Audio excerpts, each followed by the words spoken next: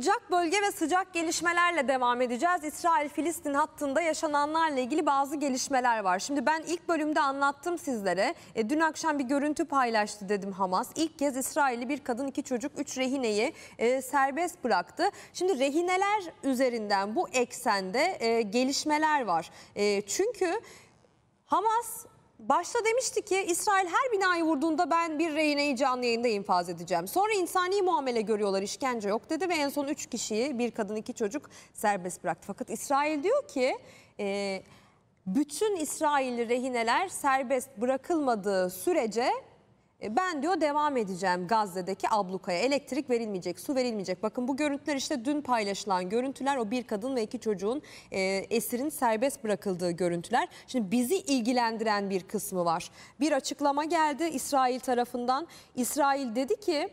E, bu cumartesi günü biliyorsunuz Hamas girdi İsrail'e e, saldırdı ve Gazze'ye dönerken beraberinde rehinelerle döndü. O rehineler sadece İsraillilerden oluşmuyor. Yabancılar da vardı İsrail'de yaşayan yabancılar. Ha işte bizi ilgilendiren kısım orası. Çünkü İsrail dedi ki kayıp ve öldürülen yabancı ülke vatandaşları arasında Türkiye'den de e, vatandaşlar var. Hatta Türkiye'den şu ana kadar netlik kazanan bilgi şu bir kayıp bir de ölü var diyor e, İsrail.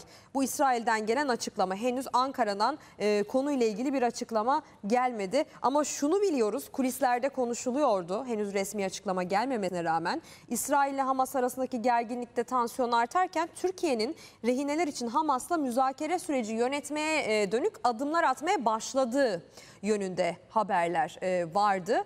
E, şimdi tabii bu süreci nasıl etkiler? Orada bir vatandaşımızın kayıp olması, bir vatandaşımızın hayatını kaybetmiş olması e, bunu takip edeceğiz. Ama İsrail Enerji Bakanı şunu çok net söyledi. Hamas'ın elindeki rehineler evine dönmeden Gazze'ye elektrik, su, yakıt verilmeyecek dedi. Gazze abluka altında. E, zaten dün şunu aktarmıştık. Tek bir enerji santrali var orada. Onun da yakıtı saat 14'te bitiyor denmişti. Hakikaten öyle oldu. Yakıt bitti ve o enerji santrali de artık kullanılamaz halde ve ne oluyor en nihayetinde?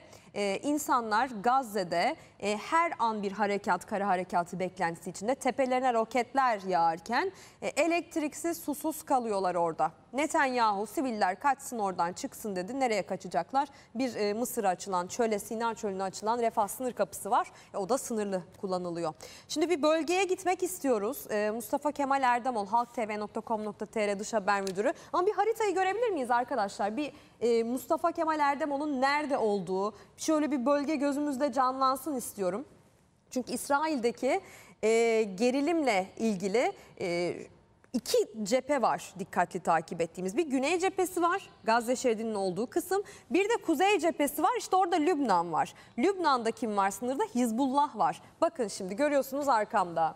Şimdi İsrail'in kuzeyine bakın orada Lübnan var. O sınırda Hizbullah ve İsrail arasında e, birkaç gündür gerilim e, sınırlı. Bu gerilim büyürse işte e, asıl İran'ı da bu ateşin içine çekebilecek olan faktör bu.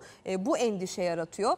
Hatta şu söyleniyor nasıl yaptı Hamas bu saldırıyı? Bu kadar istihbarat ağı kuvvetli olan ordusuna bu kadar Amerika Birleşik Devletleri'nin yıllardır yatırım yaptığı, son teknolojiyle donattığı şu söyleniyordu. Çünkü kuzeye odaklanmıştı. Kuzeyden gelebilecek bakın o Lübnan'dan o sınırdan gelebilecek bir Hizbullah saldırısına odaklanmıştı.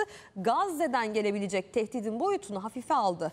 Yorumları yapılıyor tabii ki bu belki de yıllar sonra yeni ortaya çıkacak bilgilerle tam kanaat oluşturabileceğimiz bir konu olacak. Şu an hepsi sadece e, varsayımdan e, ve yorumdan ibaret. Kuzeyde Lübnan sıcak. Hadi dönelim. Mustafa Kemal Erdemol e, Lübnan'da. E, Mustafa Kemal Erdemol gerilim bugün ne safhada? Dün sizle bu saatte konuştuğumuzda tansiyon yüksekti.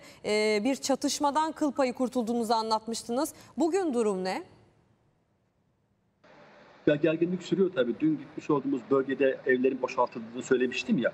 Hı hı. E, o boşaltılan bölgenin alanı hayli genişledi. Yani Lübnan hükümeti vatandaşların, vatandaşlarının oradan çekilmesini istiyor.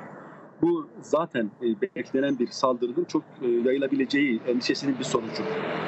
Önlem olsun diye yapıyorlar bunu tabii ki. Şimdi biraz önce söyledin ya sevgili Gözde, Hamas işte nasıl yaptı bunu, e, niye haber olmadı İsrail'in vesaire dedi. Şimdi buna açıklık getirebilecek bir bilgi var elinde. Hamas'ın yetkilisi Muhammed Nazzal bir açıklama yaptı ve biz bir yıldır bu hazırlığı yapıyoruz e, dedi. Tabii bunu söylerken e, sadece e, tek bir ülkenin değil, başka kimi ülkelerin de aslında yardımcı olabileceğini ifade eden, ima eden ifadeler kullandı. Durum bu merkezde. Şimdi güneydeki boşaltmanın asıl amacı oranın gerçekten çok zayıf olması. Dün gittiğimizde de yaşadığımız, gördüğümüz şey aslında oydu. Gerçekten de eğer bir kara harekatına başlarsa Lübnan'a İsrail e, güneyden e, girecek.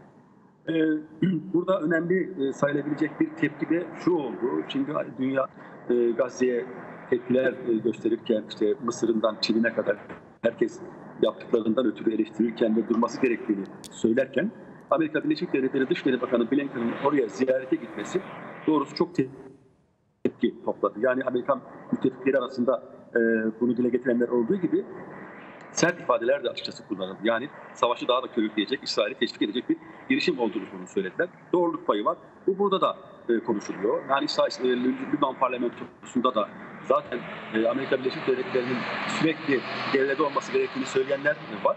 Belki onlar e, bundan ötürü, bu girişimden ötürü sevinmiş olabilirler ama çoğunluk İsrail'in İsrail azgınlığının ifade öyle durdurulamayacağını ve Amerika Birleşik Devletleri Başkanlığı'nın Dışişleri Bakanlığı'nın pardon İsrail'in e, ayağına kadar gidiyor oluşun onu teşvik etmeye yönelik olduğunu e, söylüyor ve bu yüzden burada da bir tepki var.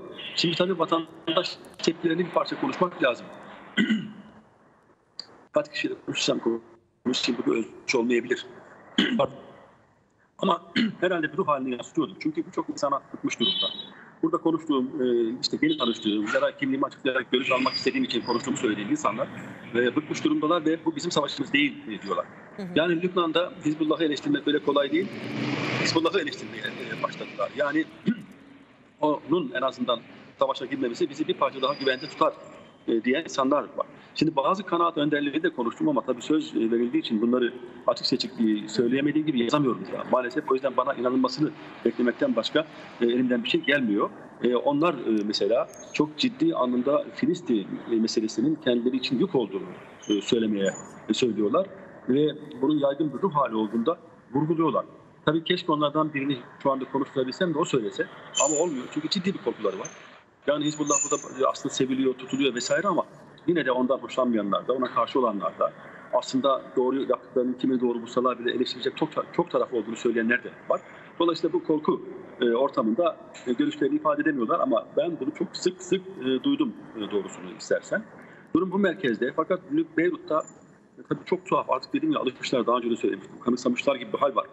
E, öyle çok ciddi bir önlem yok ama herkes, konuşabildiğim tabii herkes istisnasız e, İsrail'in e, Lübnan'ı vurabileceğini ve bunun da artık öncesinde de olduğu gibi bir sürpriz olmayacağını e, söylüyorlar.